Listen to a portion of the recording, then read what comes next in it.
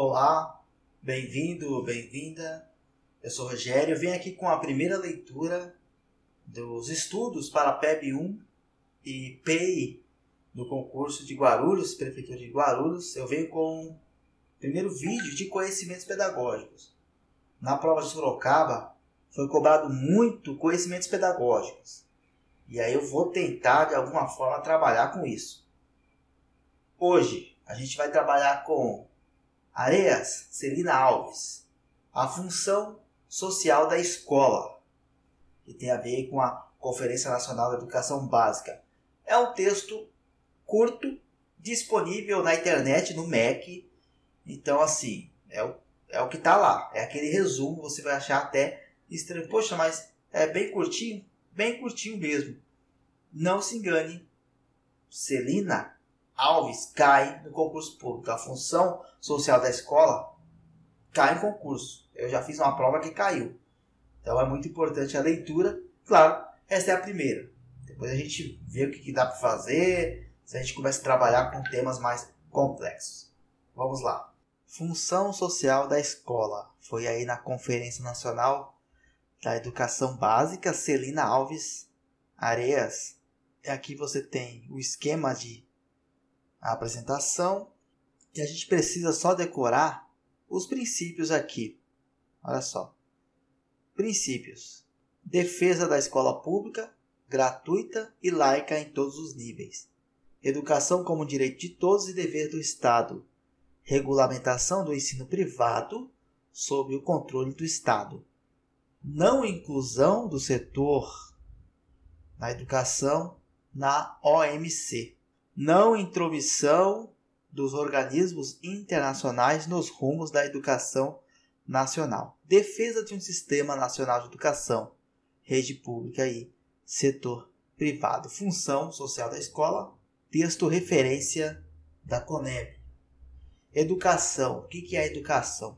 Educação é processo e prática social constituída e constituinte das relações sociais e mais amplas Educação é processo contínuo de formação, educação é direito inalienável do cidadão. A prática social da educação deve ocorrer em espaços e tempos pedagógicos diferentes, para atender às diferenciadas demandas. Como prática social, a educação tem como locus privilegiado a escola, entendida como espaço de garantia de direitos. Devemos trabalhar em defesa da educação pública, gratuita, democrática, inclusiva e de qualidade social para todos. É fundamental a universalização do acesso, a ampliação da jornada escolar e a garantia da permanência bem-sucedida para crianças, jovens e adultos em todas as etapas e modalidades da educação básica. É indispensável a escola, portanto, e que é indispensável a escola? Socializar o saber sistematizado, fazer com que o saber seja criticamente apropriado pelos alunos, ou seja, você tem que trazer o ensino, o saber que tem a ver com a realidade, com o cotidiano desse aluno.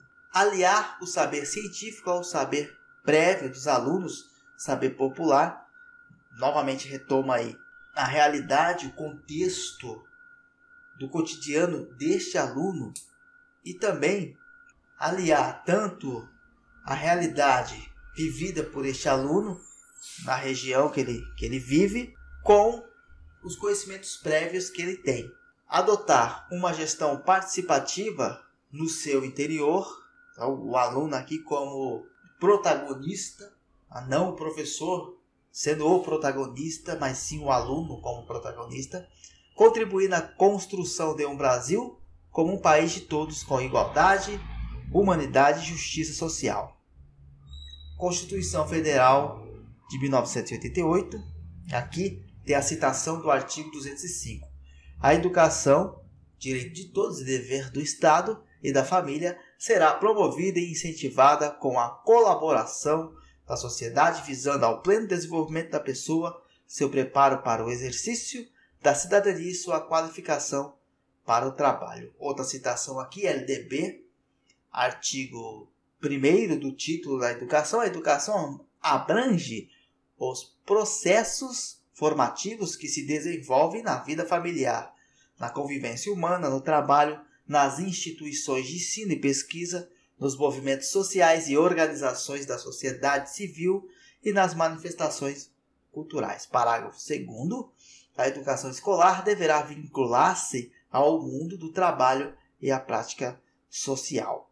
Mais uma citação da LDB, título 2 dos princípios e fins da educação nacional, artigo 2 a educação, dever da família e do Estado, inspirada nos princípios da liberdade e nos ideais de solidariedade humana, tem por finalidade o pleno desenvolvimento do educando, seu preparo para o exercício da cidadania e sua qualificação para o trabalho.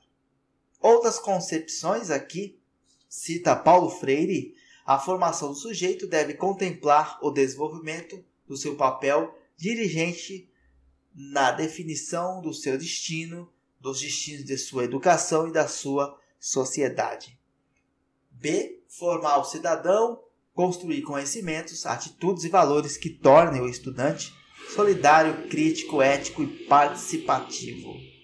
José Geraldo Bueno, a construção de um sistema de ensino que possa se constituir em favor de mudança social, responsável pela formação das novas gerações em termos de acesso à cultura, de formação do cidadão e de constituição do sujeito social. C. Distinção entre a função da escola em relação à origem social dos alunos trouxe importantes contribuições para uma melhor compreensão da complexidade dessa instituição.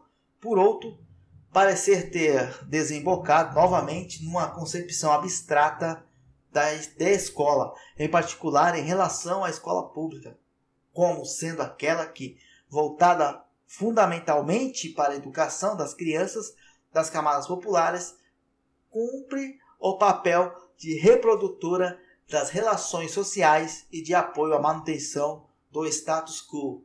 Parece que, como sempre, os responsáveis pelas políticas sociais, entre elas a da educação em nosso país, encontra um novo bode expiatório: as unidades escolares.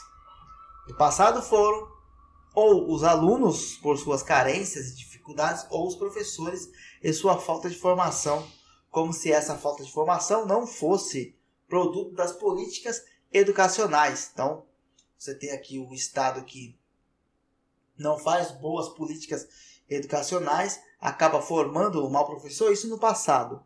Agora melhorou um pouco formando um mau professor e o professor que é o culpado.